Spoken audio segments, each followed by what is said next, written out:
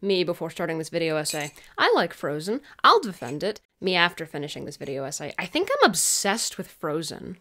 Woohoo! Big summer blowout? It's officially been a decade since Frozen first hit theaters and took the world by storm. The franchise quickly became one of Disney's most popular and well known IPs, churning record breaking profits at every turn and cementing itself as one of the most successful films the company has ever produced. This success is not unwarranted. It's a really good movie, which is genuinely impressive when you take its tumultuous production history into consideration. Frozen was stuck in development hell for over half a century. The Snow Queen is a difficult tale to adapt in any medium. The characters aren't exactly three dimensional, and while hand drawn animation is gorgeous, it does have certain visual limitations. The decision to make Anna and Elsa sisters was frankly ingenious. Their relationship is the crux of Frozen's narrative, serving as both the driving force for the film's plot and the backbone of its motifs and themes. At the time of its release, Frozen was a unique breath of fresh air that was further accentuated by a fantastic soundtrack full of catchy and smart songs. So, why is there a massive subculture dedicated to hating this movie? A particular fascination of mine is when the narrative surrounding a piece of media degrades to the point where it's rotten to the core. I've seen it happen to Romeo and Juliet, and I'm watching it happen to House of the Dragon, but Frozen should be the poster child for this phenomenon. People will regurgitate three or four variations of the same critiques and pretend that they're advancing the greater analytical discussion, but in actuality, their points are banal at best and regressive at worst. I'll watch a fellow reviewer and find myself asking the question Did we watch the same movie? Not everyone has to like Frozen, but it certainly deserves better than the faux clickbait inspired hatred this platform perpetuates. The worst crime this film is guilty of is becoming popular.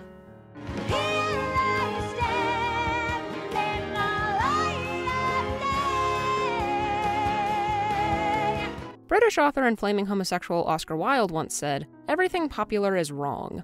He also said quotation is a serviceable substitute for wit, so just keep that in mind. Frozen was everywhere in 2013. There is virtually no escaping it, and that overexposure bred resentment in the collective consciousness.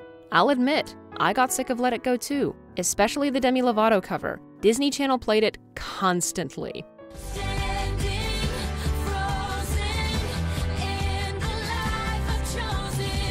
This doesn't retroactively make the movie bad, but hating Frozen became an avenue for individuation, a way to stand out from the rest of the crowd. The broader question of identity is complex and requires an intense amount of self reflection, but listing our likes and dislikes is simple. We treat our preferences like a form of shorthand for our personalities and values, but that resulting portrait is still an incomplete story. Moreover, hating Frozen became so common that this opinion lost its ability to differentiate people. When more and more critics spoke up about disliking the movie, this notion spread further and became somewhat mainstream. Herein lies a classic human contradiction. We all want to be seen as unique and special, but we also really like it when other people agree with us. There's this psychological phenomenon known as group polarization, the tendency for a group to make decisions that are more extreme than the initial inclinations of its members. It also asserts that a group's attitude towards a certain subject might strengthen or intensify after its members take part in a larger discussion. That's not to discredit people who hate this movie. Everyone is entitled to their own opinion. But I'm personally interested in the reasons why they dislike it because some of their answers reveal a very shallow and disingenuous engagement with the text. So, what are some of the things people criticize about this film? Oh, Anna. If only there was someone out there who loved you. I personally really like this reveal because it serves as a deconstruction of Anna's worldview and demonstrates the negative consequences of her isolated upbringing. She's extremely sheltered and lonely, so when a handsome prince comes along and says all the things she desperately wants to hear, she jumps headfirst into a relationship because she's looking for love in all the wrong places. You can't marry a man you just met. You mean to tell me you got engaged to someone you just met that day? Yes, pay attention. Kristoff and Elsa's assertion that you can't marry a man you just met is indeed a metatextual reference to the rest of Disney's film library, but this particular stance was included here because Anna doesn't have a proper gauge for reality. Her engagement is an extension of her naivete, and the subsequent films that invoke similar fourth wall breaking references lack this sense of thematic purpose. I'm not a princess. I'm the daughter of the chief. Same difference. No. If you wear a dress and you have an animal sidekick, you're a princess. Adaptationally speaking, Hans is the mirror from the original fairy tale. The devil, in the form of a troll, created an object that magnified people's worst attributes and failed to reflect beautiful things. Hans operates in a similar fashion. His personality is malleable, shifting and evolving whenever he interacts with different characters. He's openly hostile to the Duke of Weselton. He's fearful and apprehensive when addressing Elsa, and up until the moment he betrays Anna, he appears to be as naive and charming as his fiancée. I'm completely ordinary. That's right, she is. Uh, in the best way. Hans didn't start Disney's twist villain trend, but he definitely solidified it. This isn't unusual in the slightest. When an out of touch corporation strikes gold, they copy as many elements from their product as possible because they think those aspects are what contributed to the film's unprecedented success. But Hans wasn't the reason why Frozen became so popular, nor was the movie's commentary on past Disney flicks. The main selling point was, and still is, Anna and Elsa. That's no blizzard! That's my sister!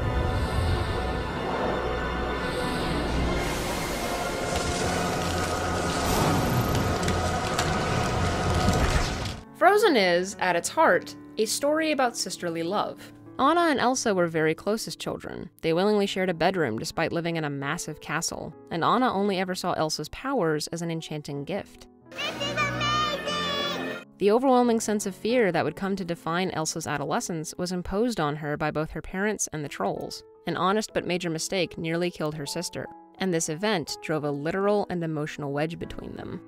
Conceal it. Don't feel it. Don't, Don't let it show.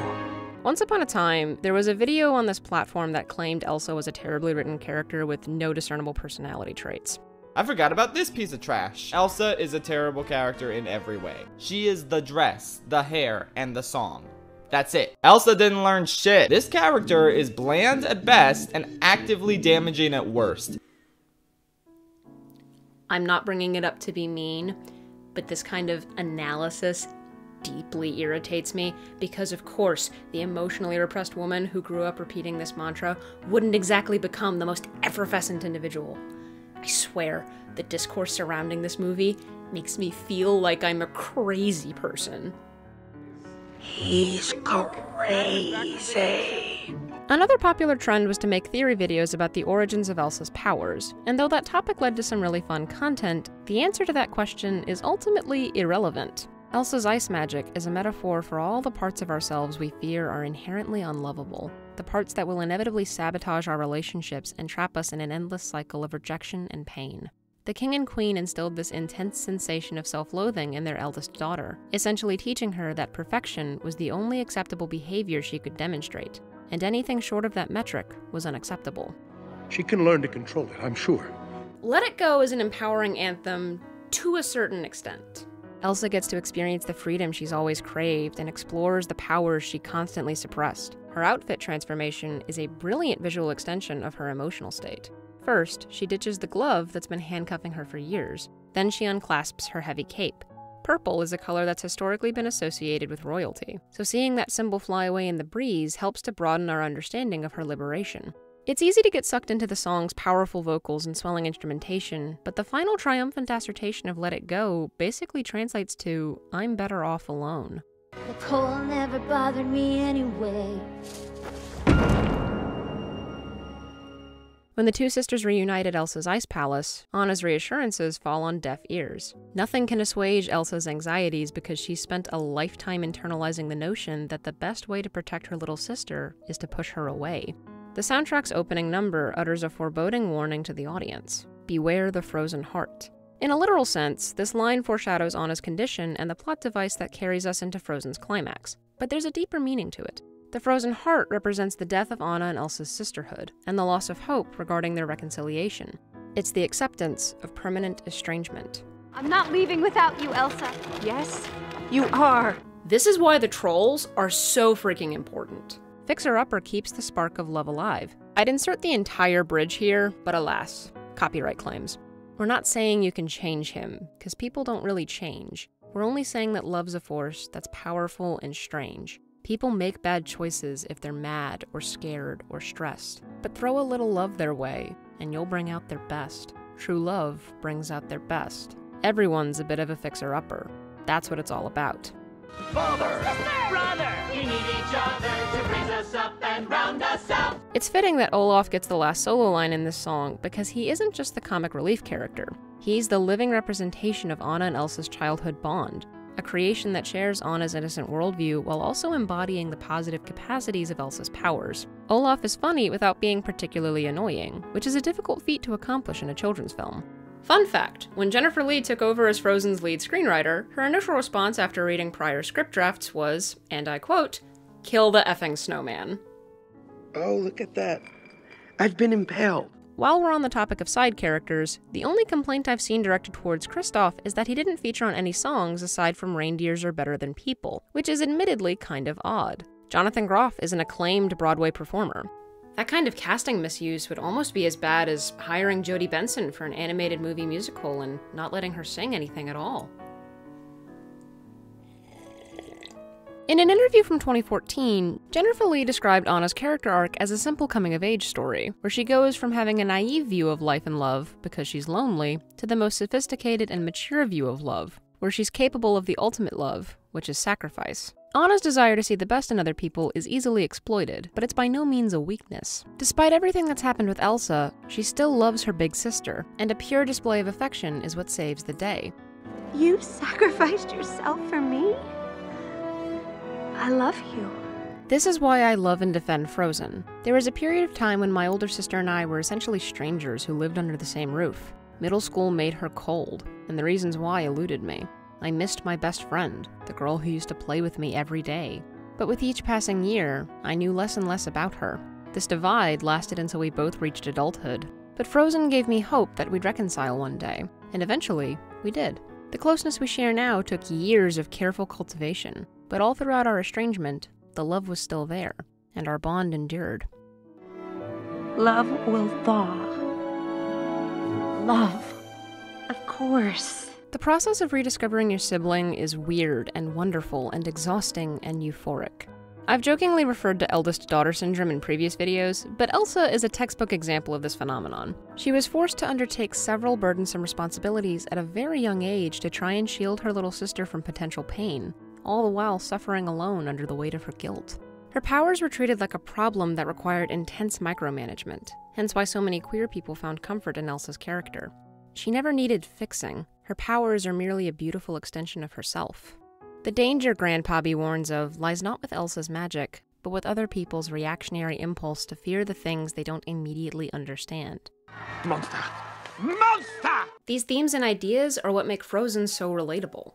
Almost every person on this planet has felt inadequate at one point or another. It's easy to dwell on our shortcomings, to compare ourselves to our peers, and to craft a false narrative of unworthiness in our heads. But there are people out there who will love and cherish every aspect of you. Leaving the door open for opportunities is terrifying, but the resulting rewards are incomparable.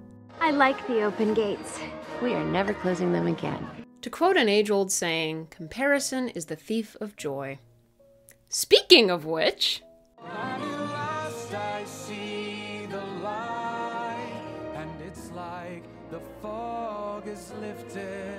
Raise your hand if you've ever heard someone say, Tangled is so much better than Frozen. I have multiple times. People love to compare these two films, but I don't think that thought experiment is particularly interesting or productive.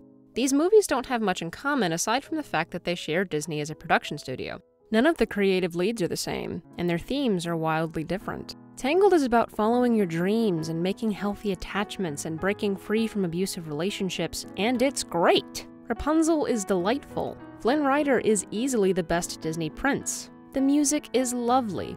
I even wrote a parody song based on When Will My Life Begin during a ridiculously slow day at my old job. Why do people feel the need to juxtapose these two great movies? The short answer is one of them became a recipient of mass attention and praise, and the other became somewhat of a footnote in pop culture. It's admittedly frustrating.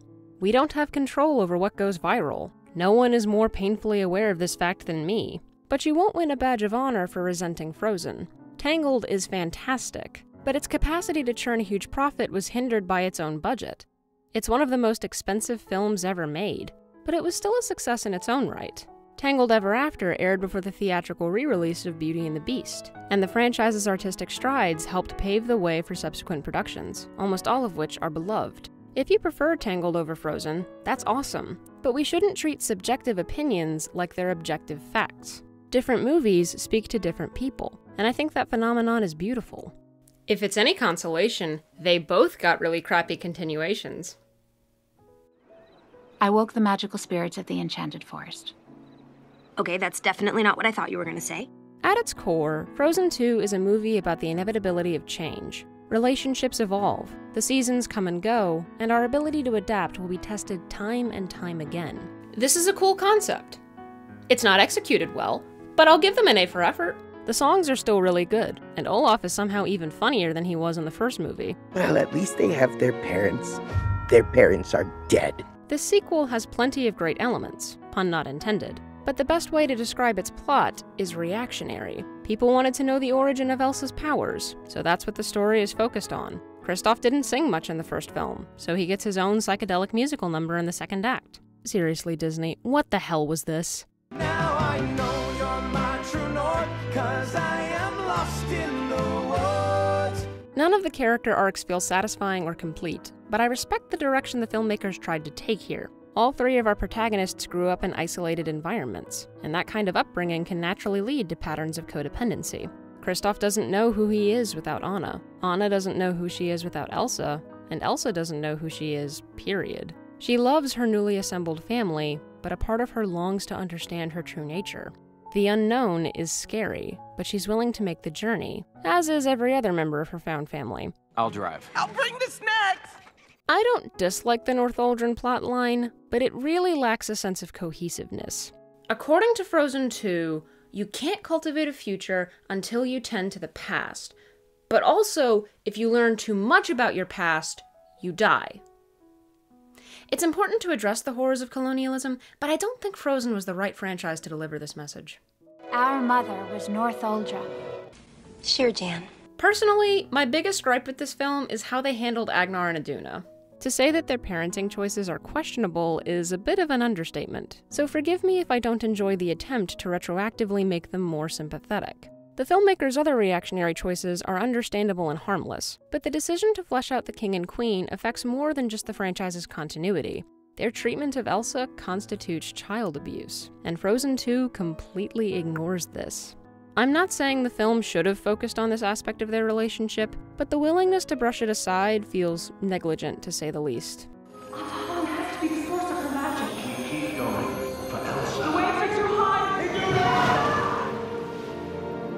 So you're telling me that Elsa, a girl who grew up traumatized by the fact that she nearly killed her little sister, now has to live with the guilt of indirectly causing the death of her parents? Thanks, I hate it! Frozen 2 just isn't polished, but these rough edges make a ton of sense if you watch the production documentary on Disney+. Show Yourself is the movie's saving grace, but it's a miracle this song even made it into the final cut.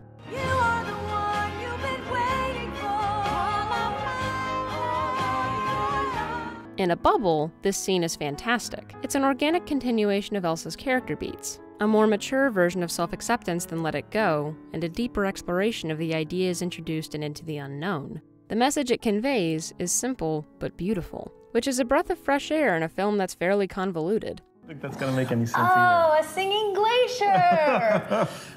Who doesn't have that problem? In order to understand Frozen 2's overarching shortcomings, we need to dissect the inherent philosophy of certain storytelling choices.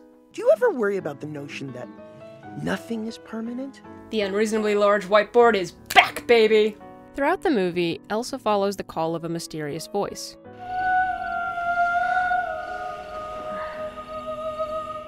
Its four note sequence is derived from the Dies Irae, a Latin chant that's typically sung in masses for the dead. This factoid helps foreshadow Elsa's death, nonsensical though it may be.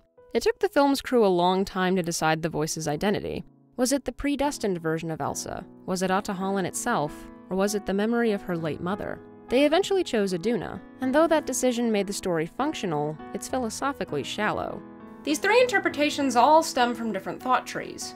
The first leans heavily on predeterminism, the philosophy that every event in the past, present, and future has already been decided for us. Some people find this belief comforting. I don't.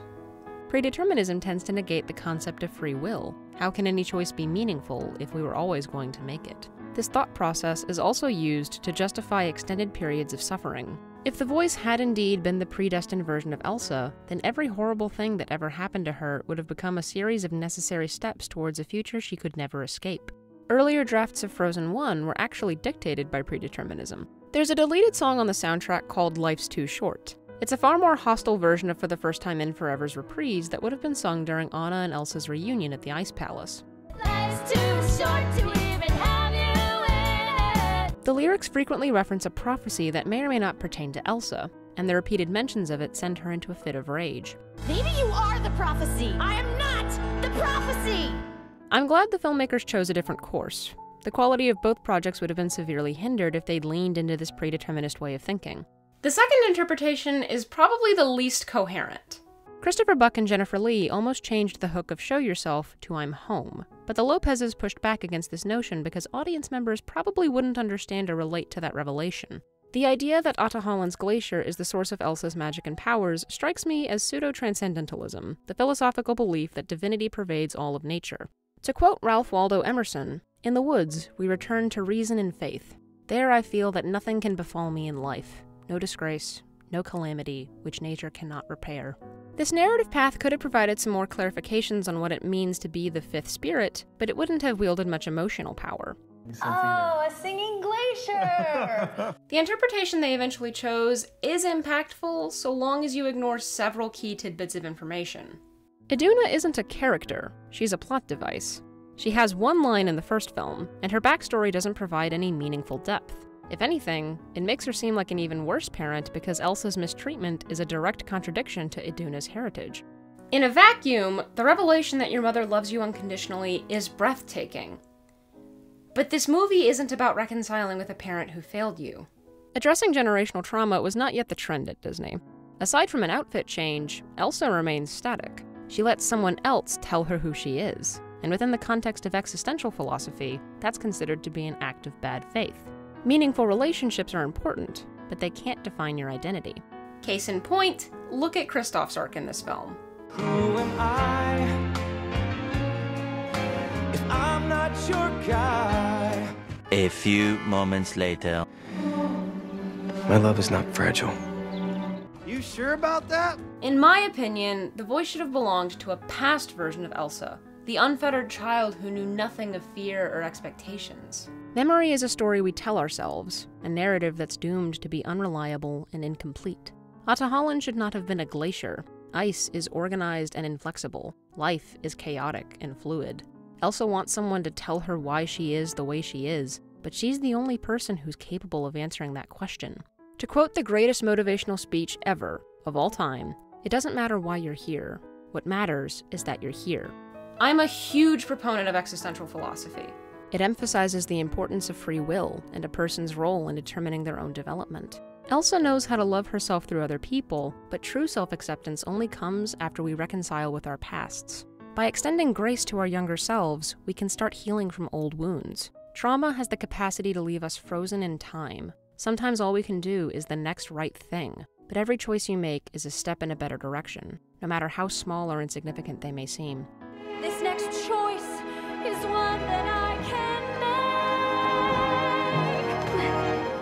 Is Frozen 2 good?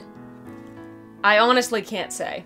It features some cool concepts, but the final product gets bogged down by its own overabundance of lore and world building. The thing is, I've seen a better version of this movie. I know these concepts can be executed well because Balto 2 Wolf Quest exists.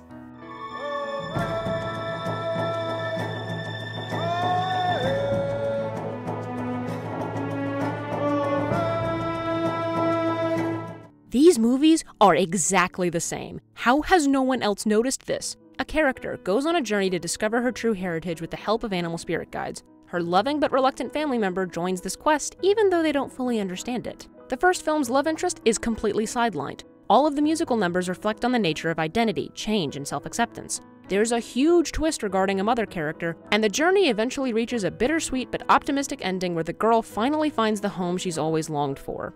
Does any of this matter? No. But it means we can use Balto 3 Wings of Change to predict the plot of the next Frozen film. This is no longer a video essay. This is a cry for help. Absolutely everything makes sense. Needless to say, this project spiraled wildly out of my control. I had no idea I was so passionate about this franchise until I sat down to write a script outline. I too suffered from frozen fatigue back in the day, but when I get burnt out on a piece of media, I just ignore it until I'm ready to revisit it with fresh eyes. Rediscovering this franchise was a lot like receiving a warm hug. Disney definitely overharvested people's patience with it. Placing Olaf's Frozen Adventure in front of theatrical showings for Coco was just plain dumb. But it's important to keep in mind that Frozen was the first ever Disney film to win the Academy Award for Best Animated Feature independent of Pixar. Money and accolades make the world go round. That's just the nature of our society. Open those gates so I may unlock your secrets and exploit your riches. Did I say that out loud? Popular things are easy to resent. But you know what people hate even more than trendy things? Children. Kids loved this movie, and they helped propel it to tremendous success. Jennifer Lee had to apologize to parents who came up to her and said, We're still listening to those songs with our children. A similar phenomenon occurred when Encanto hit Disney Plus. Olaf's voice actor Josh Gad admitted in an interview with Jimmy Kimmel that he finally understood why people hated Frozen so much because his kids wouldn't stop listening to We Don't Talk About Bruno. To quote fictional character Rust Cohle, time is a flat circle. Everything we have done or will do, we will do over and over again forever. Frozen receives a lot of flack, most of which is unwarranted. But something tells me this billion dollar franchise will manage to recover from your brilliantly crafted barbs. If your vendetta against this film is comprised solely of bad faith arguments that don't authentically engage with the source material, then my advice is to just let it go. So you're a writer, and that's the best pun you can come up with? I thought sisters are supposed to be supportive. That is support.